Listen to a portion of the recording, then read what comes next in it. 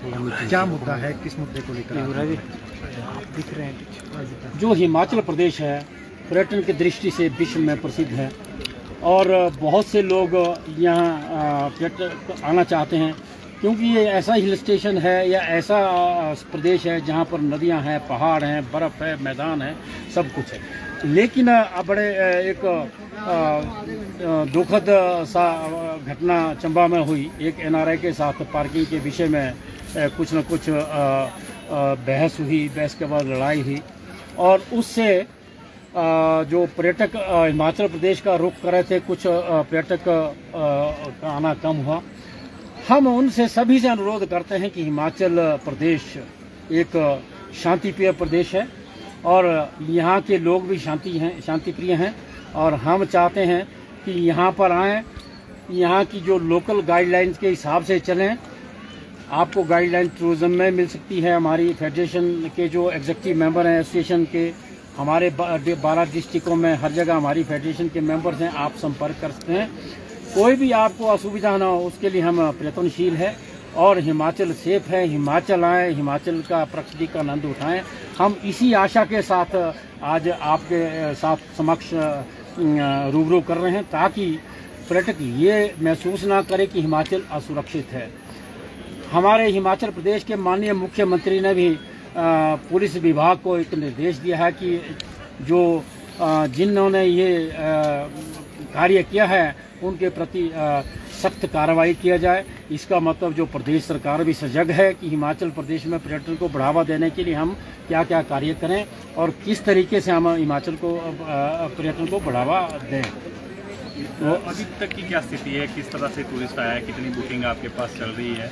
हम क्या इसके बाद कुछ असर हुआ है इन घटनाओं के बाद? हम अगर अठारह से कोविड के बाद से बात करें चाहे जो हमारा डेवस्टेशन हुआ बाढ़ हुआ लैंडस्लाइड हुए अगर हम उसके परिप्रेक्ष्य में बात करें तो निश्चित तौर पर पर्यटन पर्यटन में बढ़ावा तो हुआ। मनाली में चंबा में, शिमला में टूरिस्ट बहुत आए हैं, लेकिन कुछ कम समय के लिए आए, जो जिसका हम नाम सीज़न देते थे। चाहे हम 15 अप्रैल से 10 अप्रैल से जो सीज़न चलता था, उस तरीके से सीज़न नहीं चला। लेकिन जो जून में आवागाही आवाजाही रही, या मई के आखिर में रही तो पर्यटक बहुत ज़्यादा आया हिमाचल में। और आप के माध्यम से लोगों को ये भी लगा कि सड़कों में जाम लग रहे हैं और लोग आ, लोगों ने आ, लोगों को वो अटपटा सा लगा तो हमने उसका भी कटाक्ष किया था। जाम तो जहाँ भीड़ होगी जाम लगेगा। लेकिन आप तो प्रकृति का आनंद लेने आए हैं तो आप सिर्फ़ प्रकृति का आनंद लें।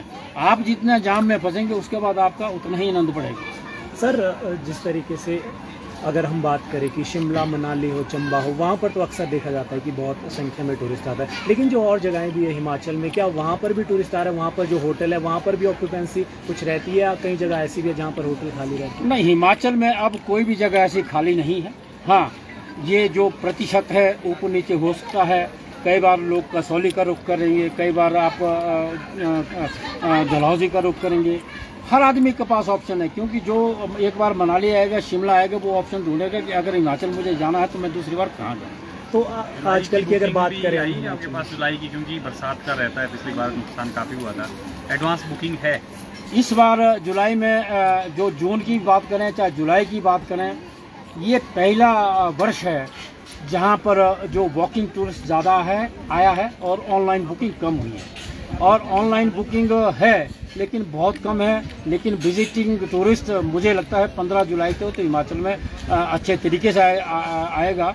क्योंकि अभी जो मैदानों में काफ़ी गर्मी का अभी है तो यहाँ लोग आएँगे और प्रैक्टिकल मिलेंगे ठीक है। ठीक है थैंक यू और चाय पानी